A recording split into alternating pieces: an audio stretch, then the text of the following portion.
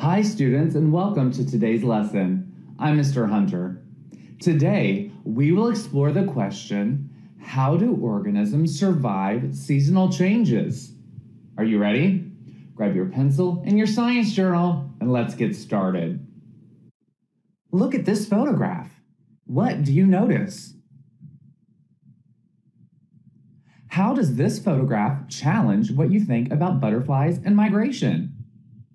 I know monarch butterflies migrate to warmer environments for the winter, but I don't think this butterfly went south for the winter. We learned in the last lesson that monarch butterflies migrate because they aren't suited to live in cold weather. But this butterfly is in the snow. What do you think? Let's play a quick game. I have four cards. When I flip them over, you will see the different stages of the butterfly life cycle. You tell me if I have them in the correct order. Got it? Okay, here we go. Is this order correct for a butterfly's life cycle? Adult, egg, chrysalis, then caterpillar? Hmm, no, this order doesn't look right. However, I do think one of these cards is in the correct place. Which card is in the correct place? The chrysalis. I'll leave that card where it is and shuffle the others around. Now, is this order correct for a butterfly's life cycle? Adult, caterpillar, chrysalis, then egg? I think we're closer to the correct order. I know that a caterpillar forms a chrysalis, so I'll leave stages two and three where they are. But I think we need to switch the other two cards around. Is this order correct for a butterfly's life cycle? Egg, caterpillar, chrysalis, adult. Hmm, I think this is the correct order. Great work. I have a video clip that will help us know for sure. Let's watch it together. Before I press play, what do you notice? I notice the caterpillar hanging down from a twig. I wonder how the caterpillar holds on like that. This video clip is a time lapse, which means it was filmed over a long time and then played back really fast. What you see here would take much longer in real life. Here we go.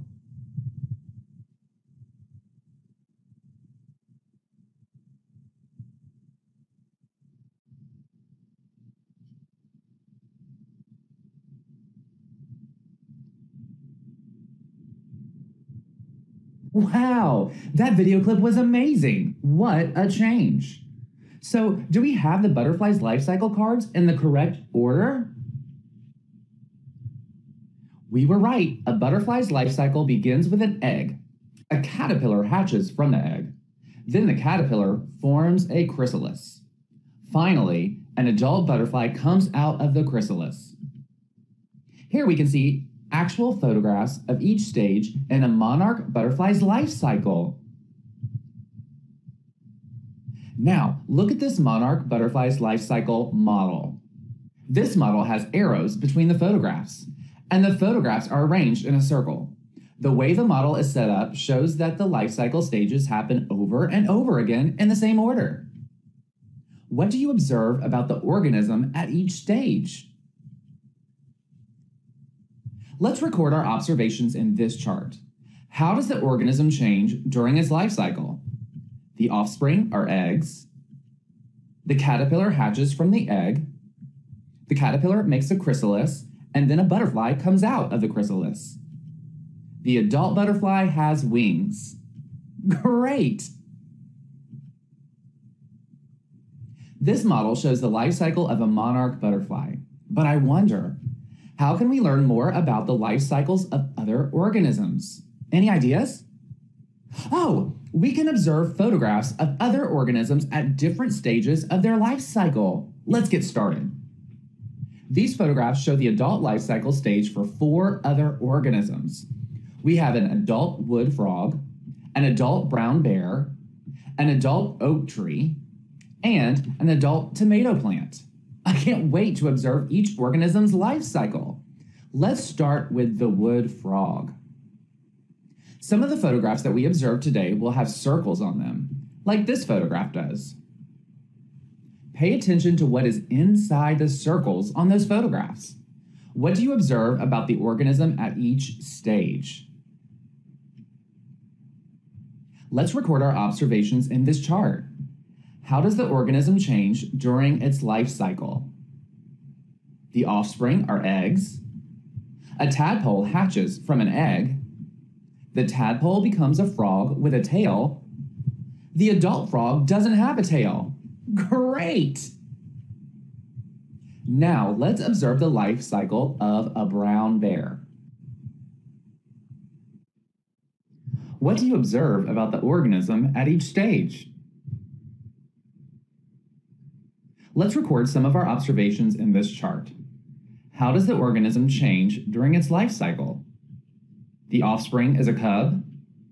The young bear is larger than the cub. The adult bear is larger than the young bear. The bear has the same body parts at each stage. Now, let's observe the life cycle of an oak tree. What do you observe about the organism at each stage? Let's record some of our observations in this chart. How does the organism change during its life cycle? The offspring are seeds inside acorns. A tree grows from the seed. The adult tree has more branches than in the other stages. We have one more life cycle left to observe.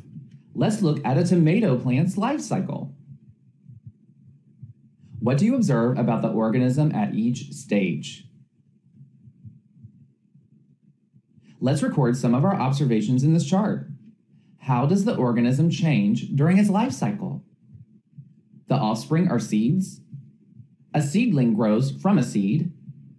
A seedling grows into a plant with tomatoes.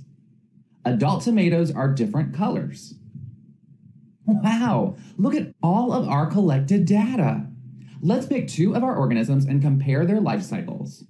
How about the monarch butterfly and the tomato plant? How are the life cycles similar? Both the monarch butterfly and the tomato plant look different at each stage of their life cycle. Also, both the monarch butterfly and the tomato plant produce offspring after the adult stage of the life cycle. How are the life cycles different? Well, the monarch butterfly and tomato plant offspring look different. Tomato plants grow from seeds, and monarch butterflies grow from eggs. Can you spot any other differences in the life cycles? Your task for today will be to respond to the question about life cycles. Wow, we've learned a lot about the life cycles of organisms, including butterflies. How can you use your knowledge about life cycles to describe this photograph from the beginning of our lesson? Ah, we now know that this butterfly is in the adult stage of its life cycle. We've learned that monarch butterflies migrate to avoid the cold. Can you think of any questions about the timing of a butterfly's life cycle? I wonder, do all butterflies become adults before winter? Do butterflies spend winter in the adult stage of their life cycle? Do butterfly life cycle stages depend on the season? In our next lesson, we will observe life cycles of different butterflies as we continue to explore the question, how do organisms survive seasonal changes? Let's review your task for today. Respond to the question about life cycles.